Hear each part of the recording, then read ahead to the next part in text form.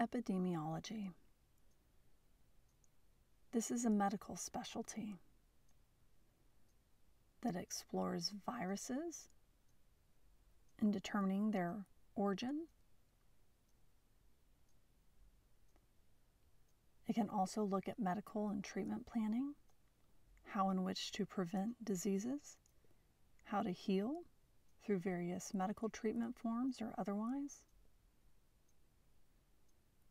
and also looks at how viruses are transmitted, whether it be through humans or animals, through air transmission, touch, or even blood.